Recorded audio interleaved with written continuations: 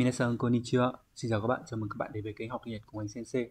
Hôm nay chúng ta sẽ cùng nhau chữa đề thi ngữ pháp N3 tháng 7 năm 2024 là đề thi mới nhất tính đến thời điểm hiện tại của phần ngữ pháp N3.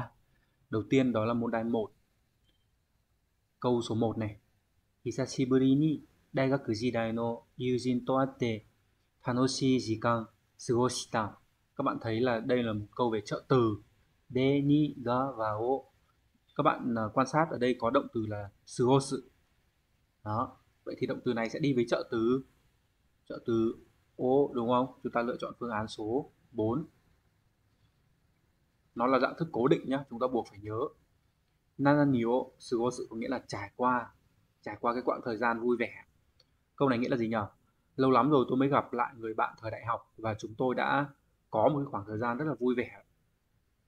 Câu số 2 này 私の家の近くにはスーパーが2軒あって、何歩いて行けるので便利だ。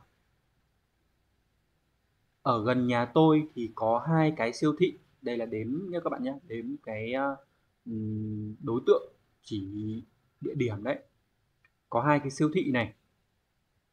Bởi vì có thể đi bộ cho nên là tiện lợi các bạn theo dõi là người ta nói là có hai cái siêu thị. Và đằng sau lại bảo là có thể đi bộ. Vậy thì chắc chắn là có thể đi bộ đến cả hai cái, đúng không? Vậy thì chúng ta sẽ xem cái nào nó mang nghĩa là đi bộ đến cả hai cái. Số 1 là dochira kara. Dochira thì là dạng trang trọng hơn một chút so với doko kara lại là từ, không phải là đi bộ từ, đúng không? Chúng ta sẽ loại trừ một. Số 2 là dochira emo. E là đến rồi. À thêm mốt vào có nghĩa là cho dù là đi bộ đến cái nào thì cũng được, cũng có thể. Đấy, có hai cái ở gần nhà và đến cái siêu thị một thì cũng có thể đi bộ mà đến cái siêu thị hai cũng có thể đi bộ. Vậy là chúng ta chọn phương án số 2 là phương án chính xác các bạn nhé. Có thể đi bộ đến cái nào cũng được, cả hai cái đều có thể đi bộ đến. Câu số 3 là dochiraka demo. Đấy, dochiraka demo. Dochiraka, thêm cái cả đằng sau nó diễn tả gì nhỉ? Nó diễn tả là cái sự không xác định. Ví dụ như là đô là ở một nơi nào đó. Đấy.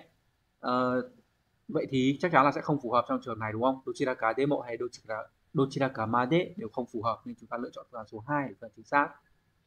Câu số 3 này. Koromo no koro kara basu ga daisuki datta ani wa ima basu no untenshu hataraite iru uh, ông anh tôi ấy là người mà hồi nhỏ từ hồi nhỏ đã rất là thích xe buýt. Bây giờ ông ấy đang làm việc đằng trước là gì đây nhỉ là một uh, tài xế xe buýt một người lái xe buýt. Vậy thì rõ ràng là chúng ta thấy là động từ là động từ làm việc và đằng trước là một từ chỉ cái nghề nghiệp. Vậy thì phù hợp nhất sẽ là toshite đúng không? Phương án số 1 với tư cách là nhá nó dùng để diễn tả cái tư cách lập trường nohoga là gì nhỉ? Nohoga là nghiêng về phía cái đó hơn, không phải. Ni tốt tên là đối với nohoka nhĩ là ngoài cái a ra thì còn cái b, không phải. Câu số 4 này. Kesa nebo shite kaigi ni okure soudata no de taxi ni nota ga, michi ga konde ite, chikoku shite shimatta sáng nay, tôi ngủ quên và tôi cảm giác như là có vẻ mình sẽ bị muộn cuộc họp đấy. Nên là tôi đã đi taxi. Thế nhưng mà đường đông, đúng không? Và tôi bị muộn. Vậy thì chúng ta dùng cái từ nào nhá? Số 1 này duy duy có lẽ là sẽ có bạn chọn một, bởi vì thấy thường là duy sẽ đi tê xi mà tờ diễn tả là lỡ làm điều gì đó, đúng không? Nhưng mà đây không phải là mình lỡ muộn thông thường cái sư ấy nó diễn tả là cái hành động đó là cái hành động cố tình của chúng ta chúng ta làm cái điều đó chúng ta không thể nào cưỡng lại được thì chúng ta dùng suy nhưng mà đây nó không phù hợp.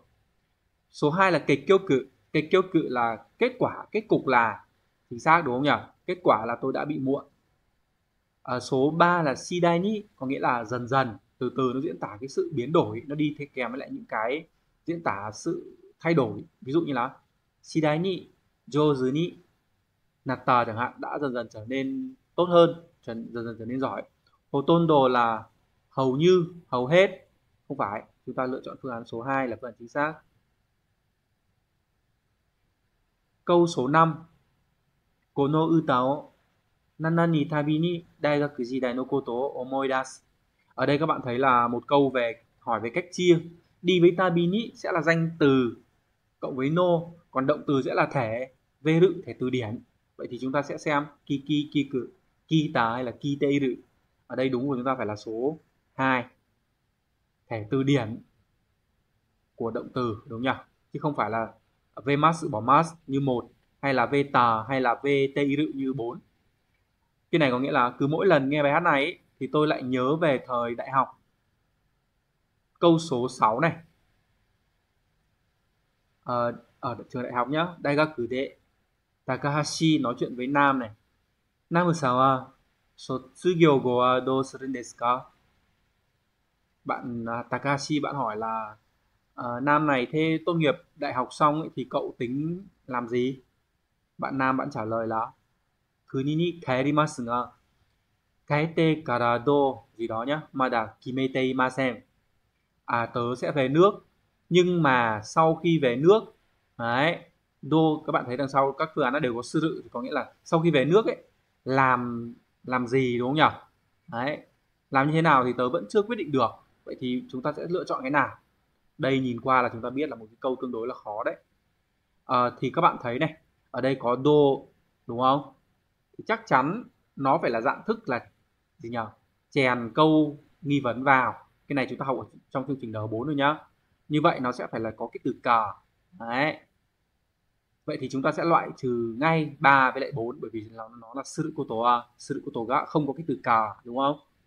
Đấy, các bạn được học ở trong à, chương trình à, N4 rồi. Ví dụ như là uh, Karega doko ni sunderu ka hoặc karimasen chẳng hạn. Tôi không biết anh ta sống ở đâu thì có cái có cái từ chỉ có cái từ nghi vấn ấy thì phải có chữ cờ như vậy là chúng ta sẽ loại trừ được ngay ngay 3 với 4 vậy thì còn một với hai ở đây, nó là sự cờ hay là sự cờ gỡ thì chúng ta sẽ xem cái đằng sau này. Nó đang để là kimete masen kimete masen kimemasu là tha động từ, đúng không? Tha động từ thì bình thường chúng ta sẽ dùng là nananio, đúng nhỉ? Nananio kimemasu có nghĩa là quyết định một cái gì đó. Vậy ở đây nó sẽ, gì nhỉ? Nó sẽ biến cả cái cụm này thành cái để nhấn mạnh vậy thì cái trợ từ ô đây nó sẽ biến thành trợ từ wa như vậy sẽ phải là sự cà wa chứ không phải là sự cà gã đúng không? Chúng ta sẽ lựa chọn phương án số 1 nha. Đấy.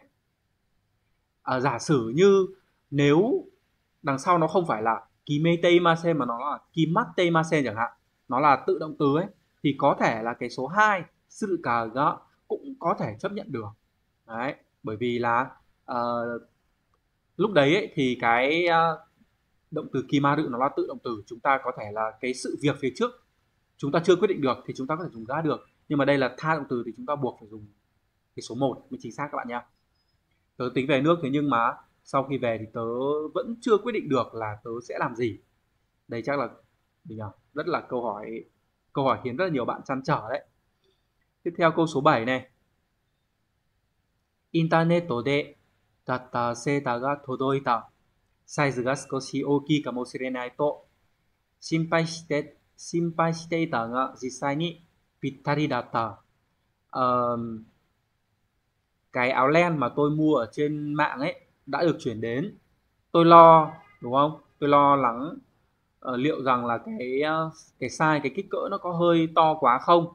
Nhưng mà này, đấy, nhưng mà thực tế nhá thì lại vừa đấy, động từ là động từ mặc.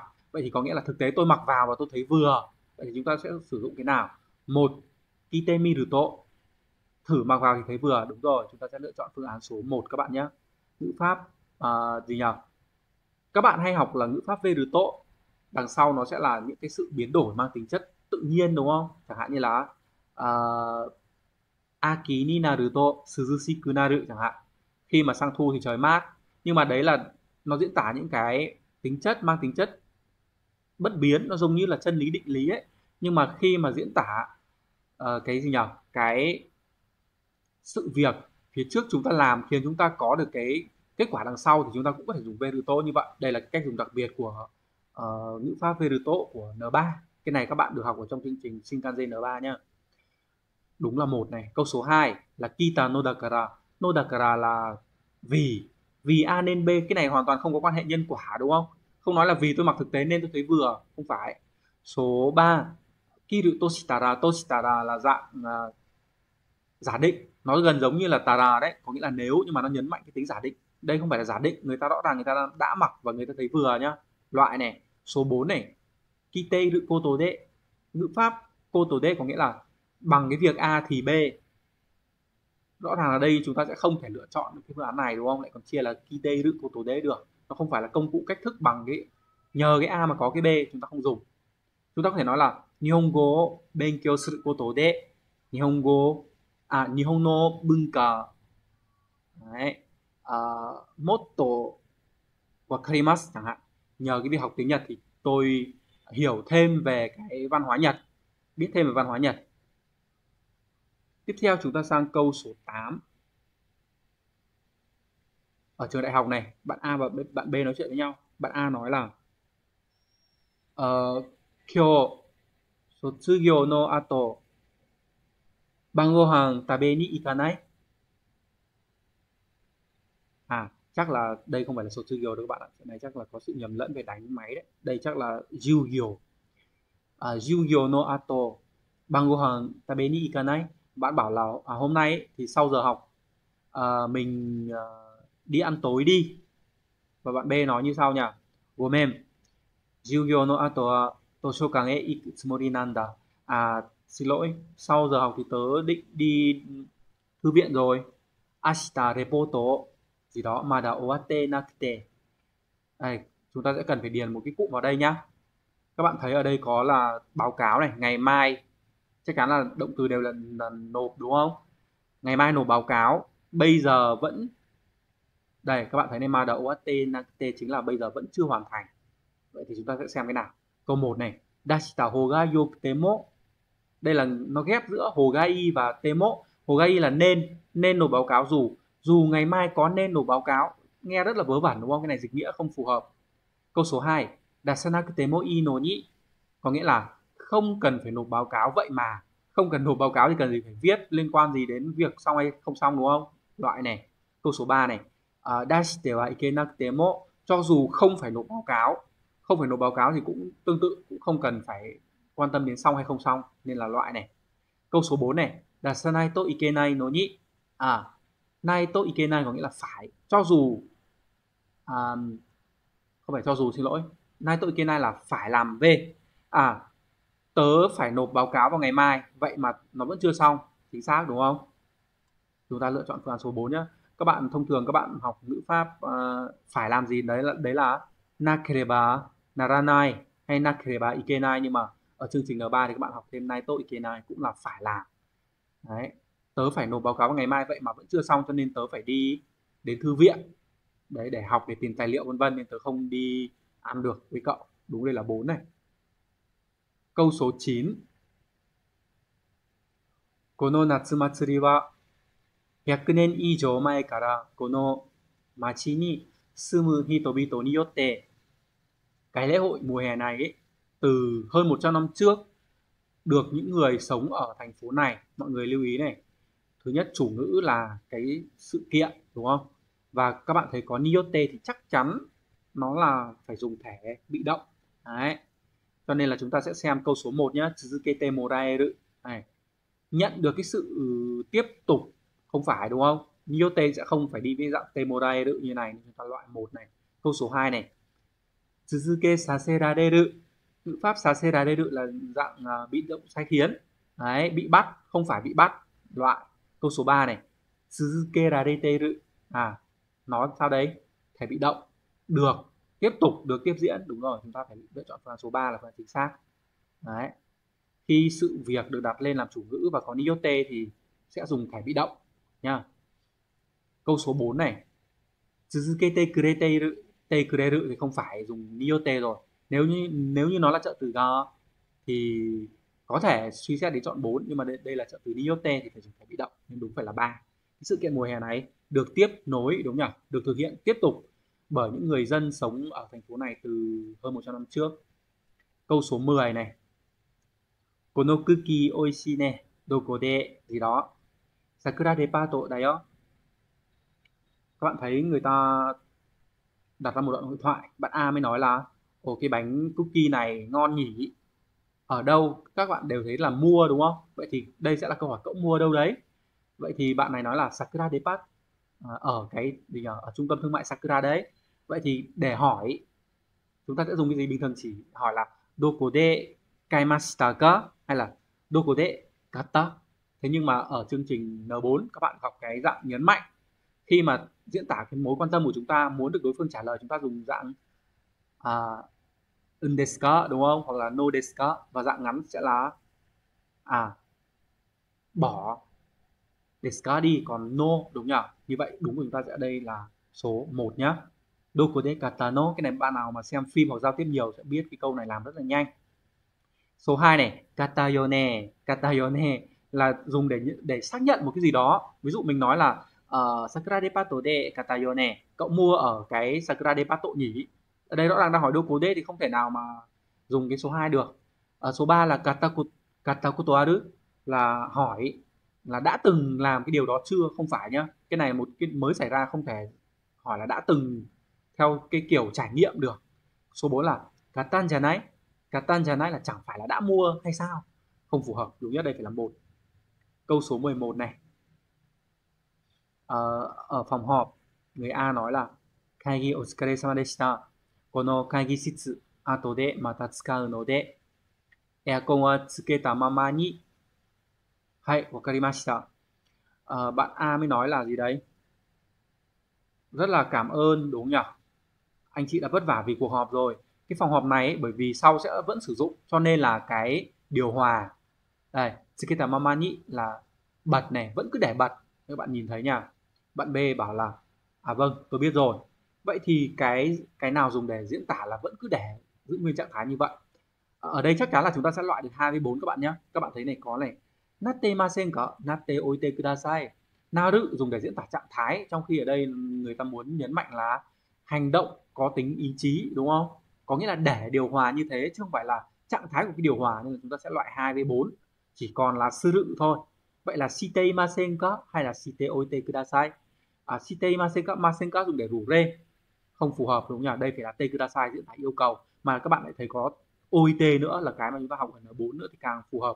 Nên là đúng đây phải là số 3 đấy. Cậu hãy cứ để nguyên cái à, uh, aircon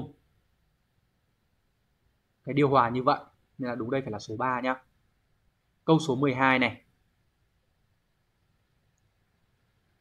Uh, Kino yonda zashi ni wasureru koto wa kanarazu shimo.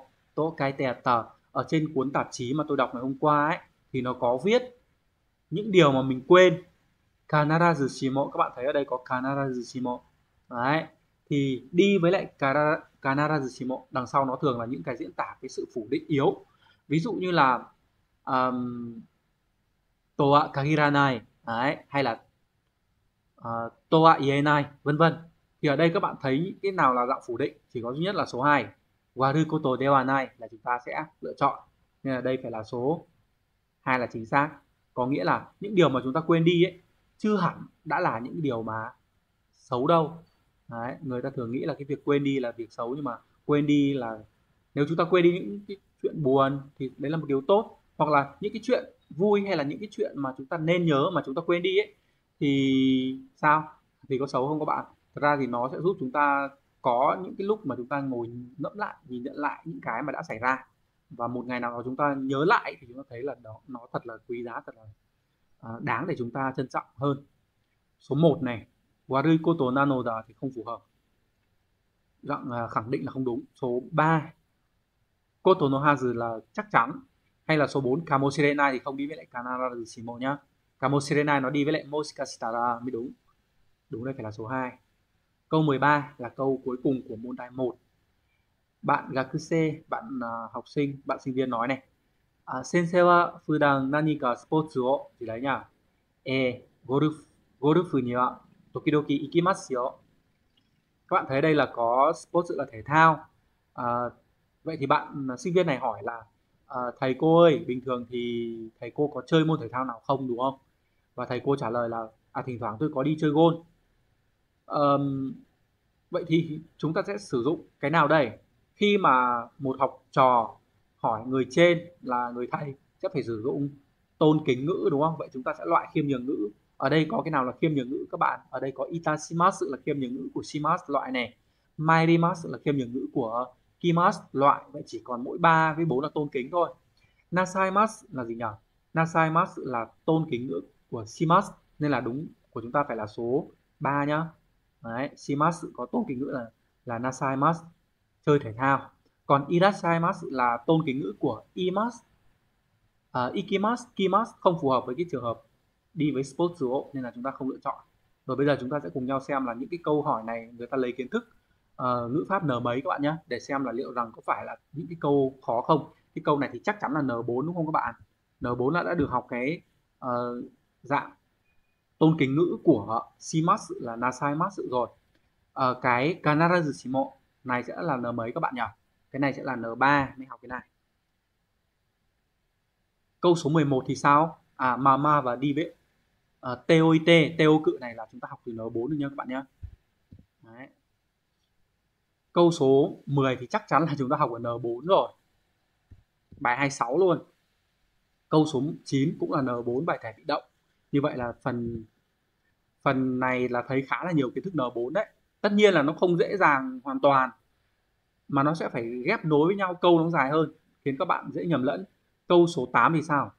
À, câu số 8 thì N4 các bạn chưa học. Nai tốt ý này đấy các bạn mới học nối nhĩ thôi.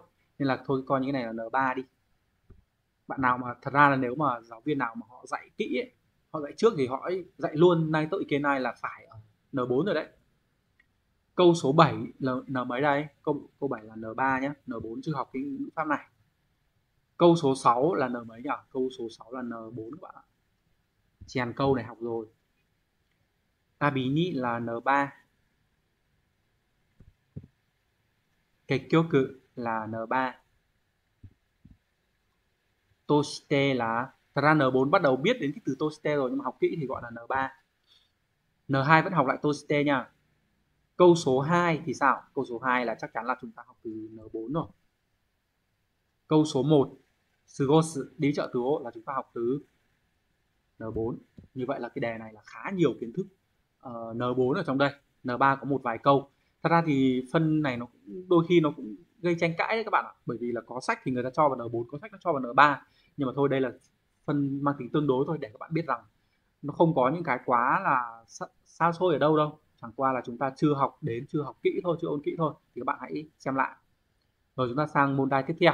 Đó là môn đai số 2 môn đai xếp câu, chọn ra cái dấu sao này. Các bạn hay gọi là môn đai hay sao. Chúng ta cùng xem câu 14 nhá. Asa kinjo no panya no mae o toru to bằng gì đó sư rự này để làm được tốt môn này này các bạn sẽ cần phải biết được cách ghép nối đầu cuối các dạng bổ nghĩa cho danh từ và các dạng ngữ pháp và đôi khi là cả cái cách dịch câu nhanh nữa thì các bạn sẽ làm được. Câu 14 người ta nói như sau. À, buổi sáng này khi mà cứ mà đi qua phía trước cửa hàng bánh mì gần nhà ấy thì các bạn thấy đây có bánh mì này có sư rự này trợ từ gõ yakeru là nướng, này, đúng không? Được nướng, hoặc là nướng chín này. No và inioi là mùi thơm. Thì các bạn quan sát thứ nhất, các bạn thấy có, ở đây là có sư rự. Này, có sư rự thì chắc chắn sẽ phải là trợ từ, đúng không? Cái gì đó sư rự. Vậy thì đây, có duy nhất là trợ từ gá, thì đi được với sư rự. Không ai nói là no sư rự cả. Nên chúng ta sẽ cho một ở đây nhá. Các bạn xếp một ở đây. Một này là dạ. rồi tiếp theo chúng ta có là có mùi đúng không? Đấy, có mùi vậy thì cái gì đó sư tự thì phải là danh từ. Vậy thì chắc chắn là chúng ta sẽ phải có bốn trước. Đấy, như vậy là chúng ta đặt bốn trước nó. Y nioi. Vậy là thực ra đã chọn được luôn đáp án rồi đấy. Y nioi ngã sư tự chọn được bốn luôn rồi. Đây chọn luôn cho nóng. Rồi, vậy còn tiếp tục thì sao? Chúng ta có gì nhỉ? Chúng ta có mùi thơm. Đây. Inyoingatsu là ngửi thấy mùi thơm nó đến một cách tự nhiên. à, mùi thơm gì? Mùi thơm của bánh mì nướng đúng không? Vậy thì chắc chắn là cái phần còn lại chúng ta phải xếp như nào? Sẽ là phải ba trước đúng nhỉ? Trợ từ no và số 2 là yakeru. Này như thế này nhá. 3 2 4 1 đấy. Cứ đi trước cái cửa hàng bánh mì gần nhà ấy, thì tôi lại ngửi thấy cái mùi bánh mì nướng rất là thơm. Câu số 15. Heijitsu wa nakanaka undo suru jikan ga nai no de nichijou nichijou sekatsu no naka de elevator de nakute kaidan o to とかしているとか歩く使うスピードを速くする ờ, người ta nói như sau này Ờ, bởi vì bình thường, bởi vì những ngày thường ấy thì tôi không có thời gian, tôi không có thời gian để tôi vận động, tôi tập thể dục thể thao. Nên là ở trong cuộc sống hàng ngày, đấy, ở trong cuộc sống hàng ngày này không phải là elevator, không phải là đi thang máy mà cầu thang. Đấy. Tôi làm những cái ở đây các bạn thấy có tổ cá nhá đây, tổ cá này được dùng để liệt kê này Đấy, tổ này sẽ xuất hiện lại đây. Rồi vậy thì chắc chắn chúng ta có nhỉ? Cai đao đằng sau phải là động từ mà động từ phù hợp với lại cai đang sẽ phải là gì? Sẽ phải là số 3 là tsukau đúng không? Đấy là sử dụng cầu thang. Chúng ta sẽ cho ba vào đây tsukau.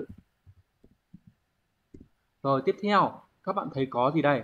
Các bạn thấy có um, tổ cờ đúng không nhỉ? Tổ cờ sẽ đi được với gì? Tổ cờ sẽ đi được với thẻ thông thường. Như vậy là các bạn thấy có thể đằng sau á đơn cự dùng tổ cáo cũng được, hay đằng sau số 4 sư rự dùng tổ cáo cũng được. Nhưng mà ở đây đang có tsukau này các bạn này tsukau đấy. Vậy thì đằng sau tsukau này, hoặc là ngữ pháp, hoặc là danh từ, đúng không? Ngữ pháp đi với thẻ thường, chẳng như là nô đê nô nhị, hay ở đây có tổ cáo có thể đi được với tsukau hoặc là danh từ nhá. Vậy thì ở đây các bạn thấy có danh từ là số 4 này speed độ nhưng mà làm nhanh cái tốc độ sử dụng cầu thang nghe rất là kỳ. Đấy các bạn có thể thử nhưng mà thật ra nếu mà dịch chọn như vậy các bạn làm rất mất thời gian. Thì đây các bạn sẽ thử luôn là số 1 vào xem nào. Một là tổ cờ đang liệt kê có nghĩa là như là sử dụng cầu thang mà không sử dụng thang máy. Đây này, lại có tổ cá tiếp có nghĩa là người ta đang liệt kê một cái phương pháp khác nữa đúng không? À vậy thì đằng sau các bạn xếp như thế nào? Tổ cà này có thể đi được với um, thẻ thường mà cả hai và bốn đều là thẻ thường rồi. Vậy thì chúng ta sẽ xếp như thế nào đây? À có a rư cự, đúng nhỉ a rư cự, chúng ta sẽ phải để trước 4 vậy chúng ta sẽ cho hai nhá. Tại sao lại để trước 4 bởi vì a rư cự đấy, nó là động từ, đằng sau nó sẽ cần một thẻ thường hoặc là một cái danh từ. Nếu như các bạn để 4 trước và hai sau thì nó sẽ bị sai. Đấy, không thể để là hai hayaku suru cự, hai động từ về tự đặt cạnh nhau được. Nên là chúng ta sẽ không chọn như thế. 4 speedo o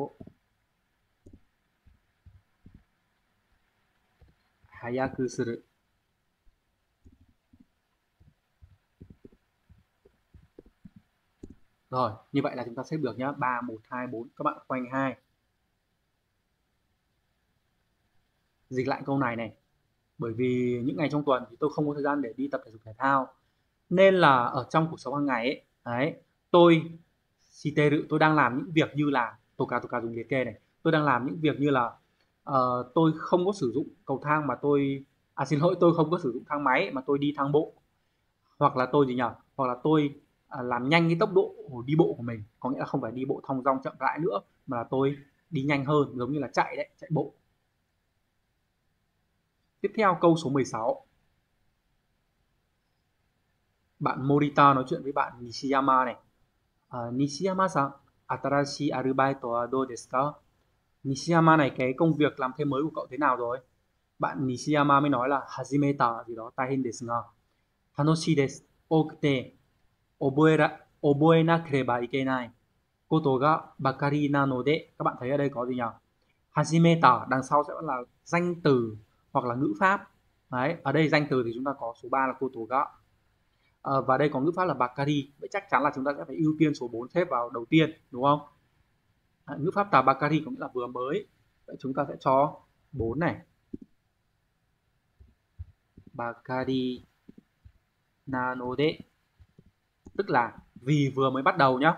Rồi tiếp theo các bạn quan sát các bạn thấy có oboe nakereba ikenai là phải nhớ. Vậy thì đằng sau nó phải là ngữ pháp đi với lại thể thường hoặc là danh từ mà đây thì chúng ta thấy không có ngữ pháp đi với thể thường nào cả nên chúng ta sẽ không thể chọn cái nào phù hợp ngoài cho nó đi với lại cái số 3 là danh từ cô tố gá đúng không? Khi ghép nó sẽ thành cái việc phải nhớ. Vậy thì chúng ta sẽ có hai trước ba đúng nhỉ? Hai trước ba đây hai là uh, oboe nhá.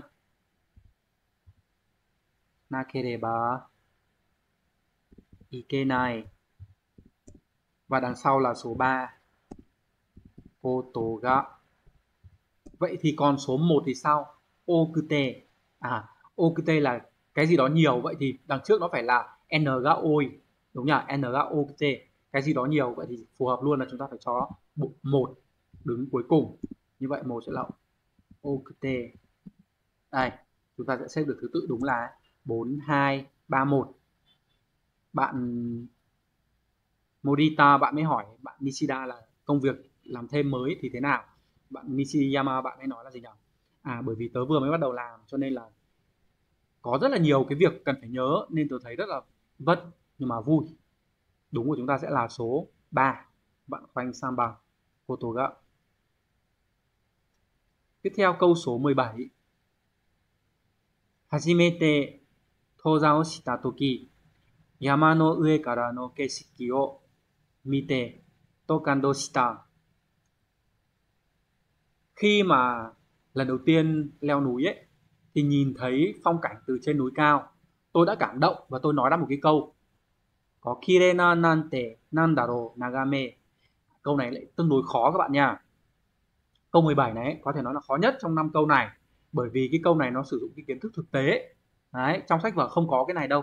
Cái này bắt buộc là các bạn phải biết nó có dạng cố định như thế đấy đó là gì? Đó là cái dạng thức là gì nhỉ à, nante nandaro. Nó dùng để diễn tả cái sự ngạc nhiên cái sự xúc động khi mà nhìn thấy một cái sự vật như một cái hiện tượng một cái đối tượng nào đó.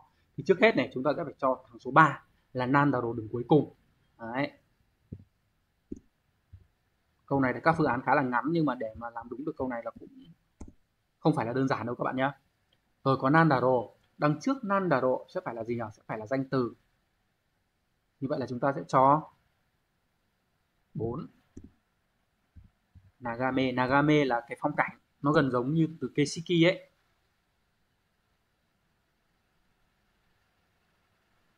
Rồi. Rồi, tiếp theo chúng ta có Kirena thì đằng sau nó phải là danh từ. À đúng rồi, phải là danh từ, đúng không? Là Nagame. Đây sẽ là Kirena này và từ Nante chúng ta được đặt ở đầu tiên. Hai.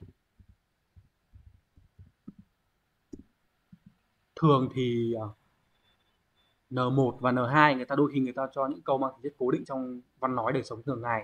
Nhưng mà đôi khi là N3 cũng sẽ gặp. Và đây là trường hợp như thế nhá.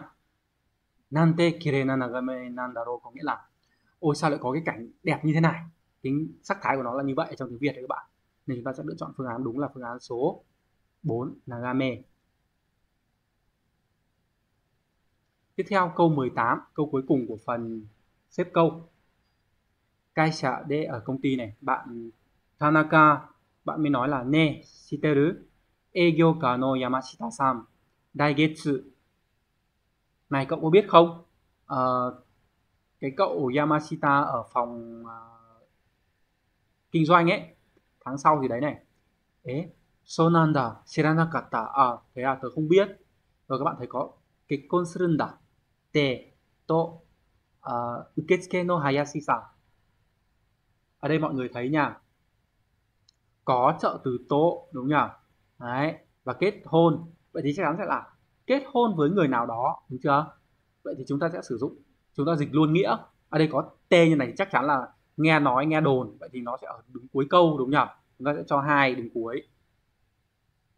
Hai là t này. Nghe nói là như thế. Rồi trước nó sẽ là thể thường. Đấy. Trước nó sẽ là thể thường, vậy là số mấy đây? Sẽ là số 1 cái consideranda một là cái com surunda rồi như vậy là kết hôn sẽ phải kết hôn với ai? Như vậy là trợ từ trợ từ tố số 3 và chắc chắn là với người nào sẽ là số 4 đúng nhỉ? Ok, suke no. Hayashi san. Đây, thứ tự đúng của chúng ta là 4312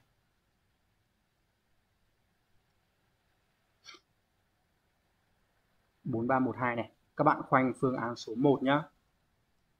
Câu này có nghĩa là gì nhỉ? Câu này có nghĩa là này cậu có biết không?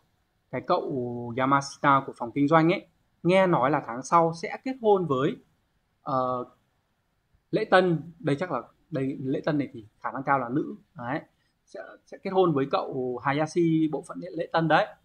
À tớ không biết gì hết. Đúng đây sẽ là Ichi.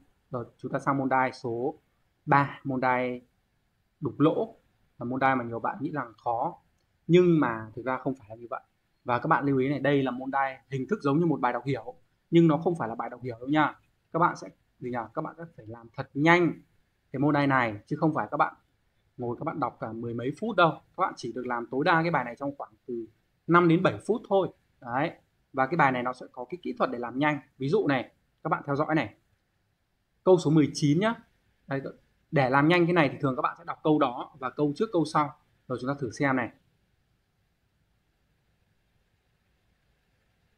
Watashi ga iku to Hayashi-san itsumo Ở khi mà tôi đến ấy thì Hayashi luôn luôn làm sao đấy. Sore de watashi tachi wa dandan naka ga yoku narimashita. Và vì vậy, chúng tôi mối quan hệ đã dần dần trở nên thân thiết. Vậy thì bây giờ câu 19 chúng ta dùng cái gì đây? Các bạn nhìn này. Hanashi kakete imashita. Nào, hanashi kakete imashita. Các bạn có động từ hana là nói chuyện ghép với lại kakemas nó diễn tả là bắt chuyện đấy hanashi kakemas là bắt chuyện à chủ ngữ ở đây nhá là ai là Hayashi. Hayashi bắt chuyện với mình. Vậy thì chúng ta phải sử dụng ngữ pháp te kureru chứ, chứ chúng ta không sử dụng ngữ pháp te imashita như này đúng không? Nên là chúng ta loại này. Số 2 là te gì đấy? Số 2 là te ageru. Te ageru là chúng ta làm gì cho ai chứ không phải là người ta làm gì cho mình, đúng không? Te mora temora temoraimashita của số 4 cũng là người. Chúng ta nhận cái việc làm gì đó từ ai? Trợ từ phải là trợ từ nhĩ đối với lại từ chỉ người đó. Đấy, nếu như là Hayashi sang nhĩ thì chúng ta chọn 4 nhưng mà đây là Hayashi sang wa chúng ta sẽ không thể dùng 4 được. Đúng ở đây phải là số 3 đấy các bạn thấy rất là nhanh. Nếu như chúng ta nắm những cái kiến thức uh, ngữ pháp cơ bản nó chắc một chút thì chúng ta sẽ làm được nhanh như thế. Nha.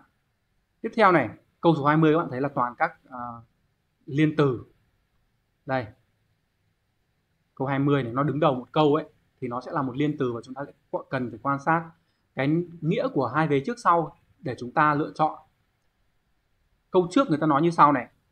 À, Hayashi san wa itsumo i arubai à, định đọc là arubaito ở đây arubai suo kuremasu à, Hayashi ấy luôn luôn cho tôi những cái lời khuyên rất là tốt rất là hay.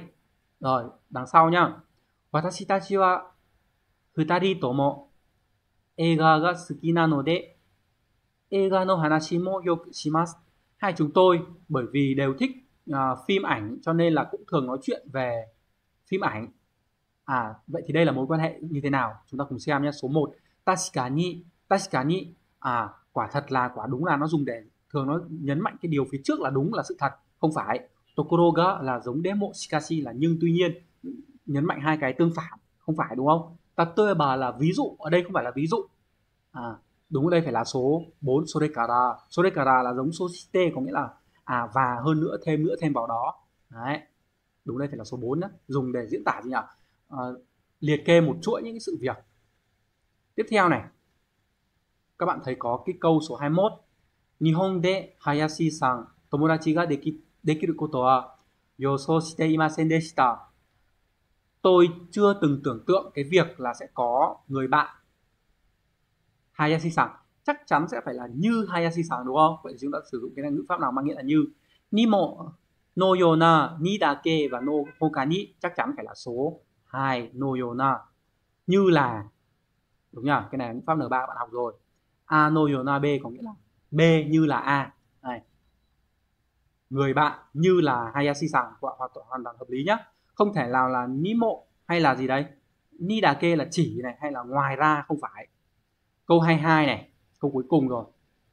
Nihonde Hayashi sáng ni gì đó yo cả tờ. Chắc chắn đây là một sự việc đã xảy ra đã có rồi thì chúng ta phải sử dụng ngữ pháp te tờ. Chúng ta xem cái nào là te tờ nha. Thấy ngay là một đúng không mọi người? Ai te tờ? Cái câu này cũng là một câu chúng ta rất là hay dùng trong um, đời sống thực tế đúng không nhỉ? Kimi ni deaete yokata thật vui bởi vì được gặp cậu thật vui bởi vì được gặp em. Chúng ta phải lựa chọn một. Akara bởi vì sẽ gặp không phải. Aeru noga cũng không dùng là uh, aeru noga nhá. Người ta dùng te yokata diễn tả là thật tội tuyết thật tội ừ. đấy nói nhiều quá bị uh, loạn cả giọng. Thật tốt thật tuyệt bởi vì có cái sự việc đó thì phải là te yokata atemo là cho dù cho dù tốt cho dù gặp cũng tốt thì không phải. Nó mang tính chất hơi kiểu uh, miễn cưỡng? Không đúng đúng đây phải là một. Thì đó là cái cách làm nhanh. Còn bây giờ nếu như các bạn muốn đọc và hiểu hết toàn bộ ấy, thì chúng ta sẽ cùng nhau dịch cái bài này nha. Dưới đây là một bài viết của một du học sinh. Tên bài viết đấy là bạn của tôi. Người tên là Mira Jonathan. Chắc là Jonathan gì đấy trong tiếng Anh đấy đúng không? Mila quá quen thuộc với chúng ta rồi. Uh, Watashi wa kinjo no chisai kisate ni tôi ấy, thì tôi thường đi đến cái quán giải khát nhỏ ở gần nhà. uh, tên cho Hayashi san toyu uh, 70 sai no dansei desu và chủ quán chủ cửa hàng là một um, người đàn ông 70 tuổi tên là Hayashi uh, Hayashi san wa watashi yori 50歳も年上ですが、私たちは友達です。À, ông Hayashi ấy thì hơn tôi những 50 tuổi, đợt tôi là 20 ấy. Nhưng mà chúng tôi vẫn là bạn bè của nhau. Sono omise ni wa hantoshi gurai mai kara iku you ni narimashita. Cái cửa hàng đấy ấy, thì tôi bắt đầu đi đến đó từ khoảng nửa năm về trước. Và cứ tôi đi đến đó thì ông Hayashi lại luôn luôn bắt chuyện với tôi. Vì vậy mối quan hệ của chúng tôi đã trở nên tốt đẹp 他のお客さんがいないとき、私た khi mà không có những khách hàng khác thì chúng tôi thường nói chuyện với nhau Hayashi sa wa kohi no shurui ni tsuite kuwashikute watashi wa kohi no koto wa koto ga yoku wakaru you ni narimashita. À, ông Hayashi ông ấy rất là am hiểu về các chủng loại cà phê và tôi đã trở nên hiểu nhiều hơn về cà phê. Tokidoki Hayashi san ni Nihon no sekatsu de komatteru koto o soran suru koto mo arimasu. Và thỉnh thoảng đôi khi ấy, tôi cũng trao đổi, tôi cũng nói chuyện với ông Hayashi về những cái điều mà tôi đang gặp khó khăn ở trong cuộc sống Nhật Bản, ở Nhật. À, ông thường cho tôi những cái lời khuyên rất là thú vị. À, và thêm vào đó, bởi vì cả hai chúng tôi đều rất là thích phim ảnh cho nên là thường nói chuyện về các bộ phim. Kono aida wa issho ni Egao Mini Ikimashita và dạo gần đây thì chúng tôi còn đi xem phim cùng với nhau nữa. Um, tôi chưa từng tưởng tượng là có thể có được một người bạn như là ông Hayashi ở Nhật. こんなに年上の友達ができたのは初めてでしたが、年齢の差は重要ではないことが分かり分かりました。Lần đầu tiên tôi kết bạn được với một người lớn tuổi như thế này. Thế nhưng mà tôi đã hiểu rằng là tuổi tác nó không phải là điều quan trọng cách biệt tuổi tác nó không phải là quan trọng thật tuyệt vời thật vui bởi vì tôi đã có thể gặp ông Hayashi ở Nhật đấy đó là cái nội dung của bài dịch này nhá một bài cũng tương đối hay đúng không thì cái phần chữa của chúng ta đến đây là kết thúc các bạn hãy theo dõi thật kỹ các bài giảng cũng như là theo dõi ủng hộ các video trên kênh youtube ảnh CNC à, ờ, và nếu như bạn nào muốn tham gia các khóa học trực tuyến đều được uh, tương tác trực tiếp với Sensei học các uh, kỹ năng kinh nghiệm thì các bạn có thể nhắn tin cho Sensei ở dưới phần uh, comment hoặc là trên fanpage Ánh Sensei. Uh, hẹn gặp lại các bạn trong các video bài học sắp tới.